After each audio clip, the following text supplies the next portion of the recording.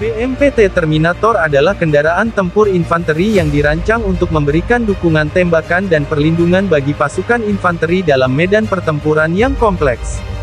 Terminator dirancang untuk mengatasi berbagai ancaman, termasuk pasukan infanteri musuh, kendaraan lapis baja, dan ancaman dari udara.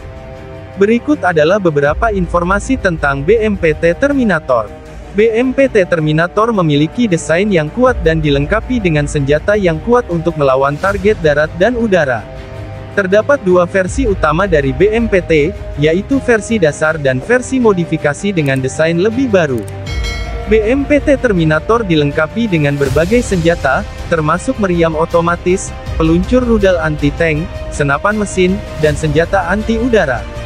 Ini memberikan kemampuan serang yang luas dan memungkinkan BMPT untuk melawan berbagai jenis target dalam medan pertempuran. BMPT Terminator juga memiliki perlindungan yang ditingkatkan, termasuk perlindungan armor yang kuat untuk melindungi awak dan senjata dari ancaman luar. Selain itu, sistem pertahanan aktif juga dapat dipasang untuk menghadapi ancaman rudal dan amunisi yang datang dari arah udara. BMPT Terminator dirancang untuk mendukung pasukan infanteri dalam pertempuran dengan memberikan tembakan dan perlindungan yang efektif. Kendaraan ini dapat digunakan dalam operasi tempur, operasi anti-teroris, dan operasi pemulihan perdamaian.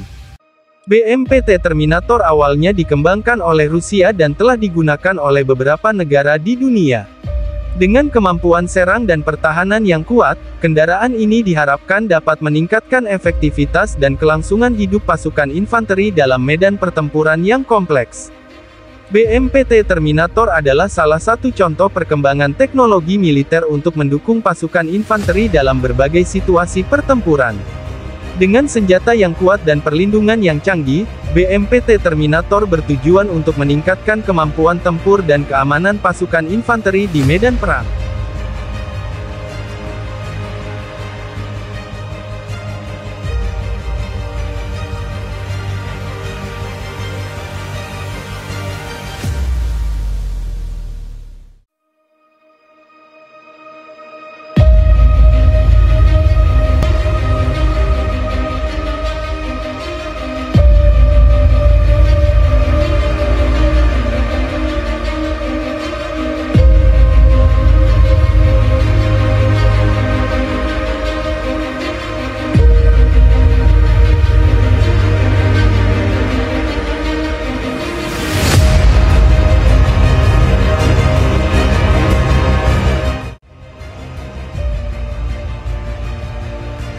M1A2 Abrams adalah tank tempur utama yang digunakan oleh Angkatan Darat Amerika Serikat dan beberapa negara lainnya.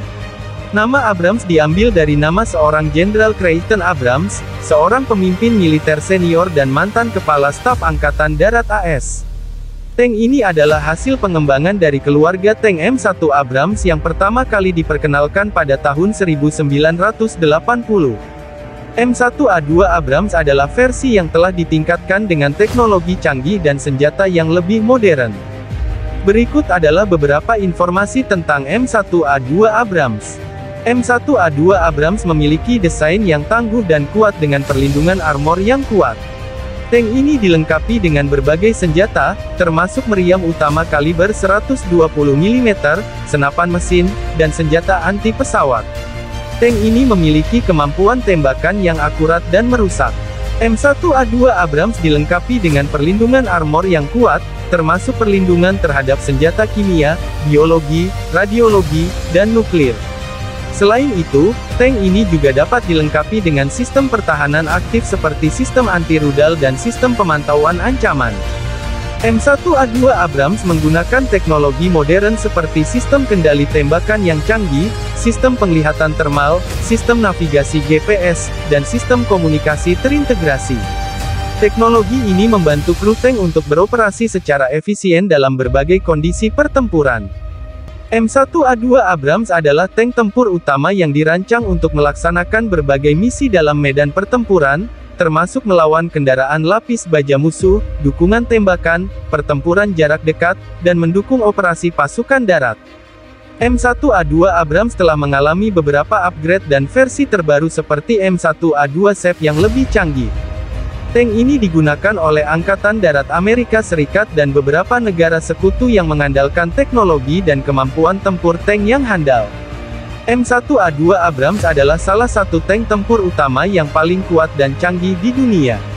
Dengan perlindungan yang kuat, senjata yang mematikan, dan teknologi modern, tank ini berperan penting dalam operasi militer modern dan mendukung pertahanan nasional serta operasi militer yang efektif.